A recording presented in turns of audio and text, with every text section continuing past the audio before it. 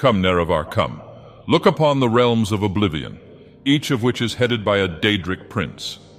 These Daedric princes have their separate dimensions, with some more livable than others. I wouldn't venture there if I were you, as they are unpredictable. Moonshadow is a plane of oblivion governed by Azura. It is a twilight country of shades and half-thoughts that is inaccessible from Nirn, although this has not always been the case. Morian Zenas visited the plane while in a meditative state. His apprentice scribed the experience. It is a giant garden full of roses, a city of silver and breathtaking vistas brimming with waterfalls, flowers, and majestic trees where the wind and rain carry heady perfumes and the colors blur. The goddess herself resides in a palace of roses. The realm holds such beauty that it makes mortals half blind. It can't be that impressive, as winged twilights live there, and they do not look particularly beautiful. Attribution's share, formerly known as Snakemouth, is the plane of oblivion belonging to the Daedric prince Boethia, the Daedric prince of plots. The plane has been renamed many times by Boethia for unknown reasons and is described as a country of labyrinthine policies and betrayals. It is known to be full of many maze gardens and twisted towers. The realm is used to host the Tournament of the Ten Bloods, in which a champion is taken from each of the ten races of Tamriel and are pitted against each other in fights to the death. Whoever wins the tournament is awarded the sword Goldbrand and the honorary title Chosen One. The final round of the Dragonstar Arena takes place in this realm. Leave it to Boethia to create an overglorified arena as her realm, full of tournaments that do not honor the Sixth House and the Tribe Unmourned. The Fields of Regret is a realm of oblivion, created and ruled over by Clavicus Vile, the Daedric Prince of Deals. Yes, Nerevar, you will regret coming here. It appears as an idyllic countryside, dotted with merchant utopias, fields of white clovers, woodland meadows, twisted foliage, and odd melted-looking places.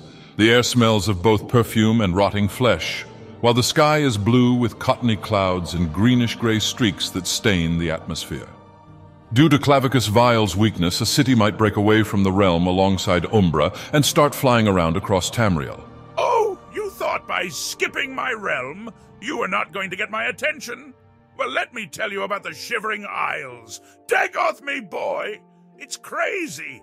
We have Mania, a happy-go-lucky place where all the fun stuff related to madness happens and brightens up the universe. Then you have Dementia, where it is a lot more bleaker and the inhabitants have truly retreated to the dark crevice of their broken minds. I like them that way. My realm used to belong to Jyggalag, and uh, he did destroy it several times, but then again he always reverted back to the old Sheogorath, and the old Sheogorath had to rebuild everything from the ground up. Oh, did I mention the Golden saints and the dark seducers? They only add to the aesthetic to my realm. Oh, of course, how can I forget? The cheese! The cheese, Dagoth! All kinds of cheese! Apocrypha is the realm of Hermaeus Mora, the Daedric prince of fate and knowledge. Many who come here seeking forbidden knowledge remain forever. Apocrypha can only be accessed by reading the Black Books while in Solstheim. There are seven Black Books. As with Hermaeus Mora, Apocrypha is always changing and never constant. Its environment is filled with hidden and forbidden knowledge and dangerous to the unwary. This infinite plane of reality is dominated by an endless, roiling sea of toxic green liquid where giant oily tentacles slither and writhe about the waves, whipping at anyone who gets too close. Sounds like an anime plot, Nerevar? What little solid ground there is consists of several archipelagos and cathedral-like buildings composed of heavily weathered stone, connected by constantly shifting bridges built of greasy black metal.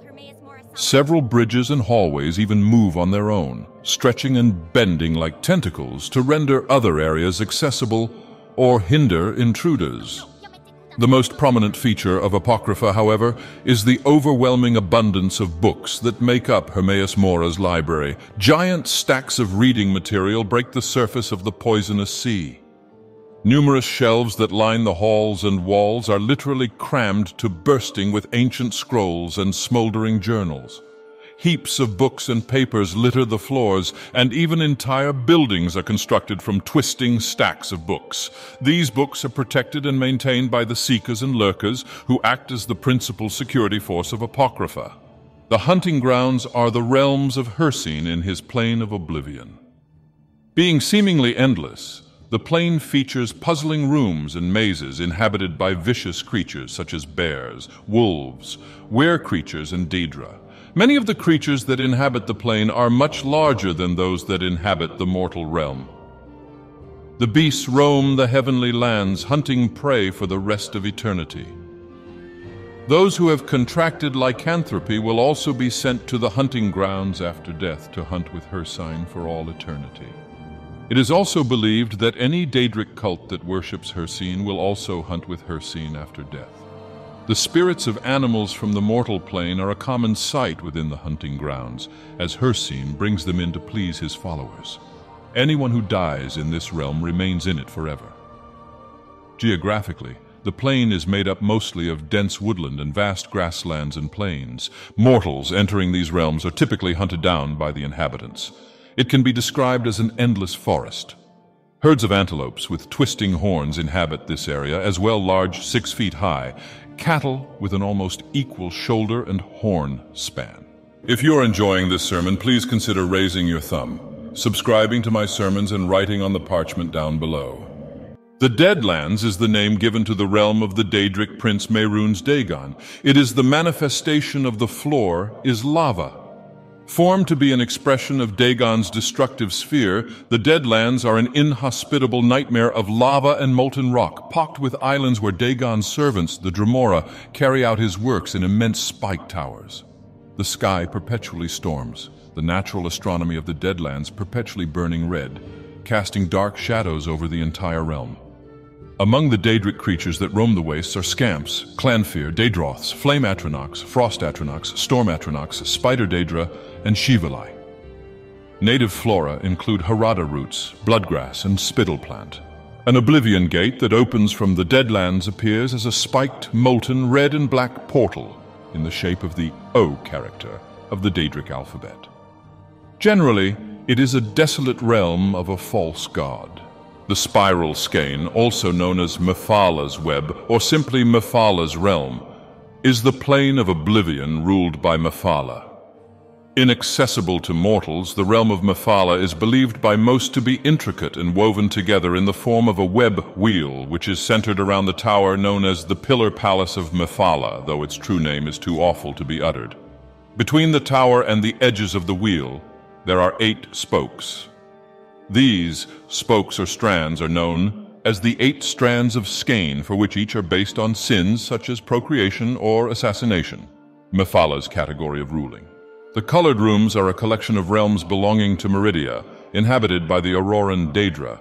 Little is known about this realm save that the Aurorans are native to this plane. Also, probably the moment you step into this realm, Meridia starts giving her a new hand touches the beacon speech, what a grand and intoxicating innocence.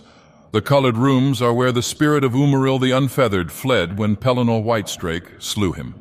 The dreadful oblivion plain of Coldharbour is a place of death, despair, and infinite cruelty. It is ruled by Molag Bal, the lord of brutality and domination, a Daedric prince dedicated to enslaving all the mortals of Nirn.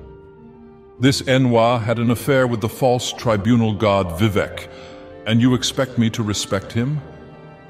I am a god. How do you expect a god to forgive? As Molag Bal's sphere of influence is domination and the enslavement of mortals, and because he is known as the god of schemes, any mortal entering the realm is captured, enslaved, and turned into one of Molag Bal's soul-shriven, soulless slaves, laboring for eternity under Molag Bal's command. Coldharbour is known for its vast farm tool pens and laborers bleak dead rocky chasms, and twisted abandoned ruins, some ripped straight out of Nirn, such as the Argonian village of Haj Uxith. Daedra are known to wander the realm and to be among the servants to Molag Bal. Some Daedra in Coldharbour include harvesters, Dremora, scamps, soul shriven and atronachs, though there are a vast number more. The scuttling void, also known as the dark behind the world to the Khajiit, is the plane of oblivion ruled by Namira. Very little is known about it beyond its name, as it is claimed that no man, mer, nor beast has ever ventured there and returned. The Dro-m'Athra are said to originate from here, and a tear between the two realms occurred at the maw of Lorkhaj. It is a cold realm that has grim forges and bent benches where the Dro-m'Athra arm themselves.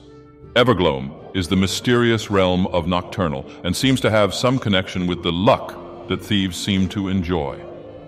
The Evergloam is dark and foggy, containing gloomy and dangerous creatures. The realm consists of a primary plane and several subrealms, but these are thought to be constantly shifting, with different mortals perceiving them in different ways. The trees cast long, dark shadows. Honestly, Nerevar, Nocturnal, Namira, Mephala, and Vaermina are all unoriginal and have realms resembling each other. The Pits is a realm of oblivion created and ruled by the Daedric Prince of Pestilence, Peryite. It is here in which the lowest orders of oblivion are guarded. With a few exceptions, the realm is usually unreachable via mortal devices.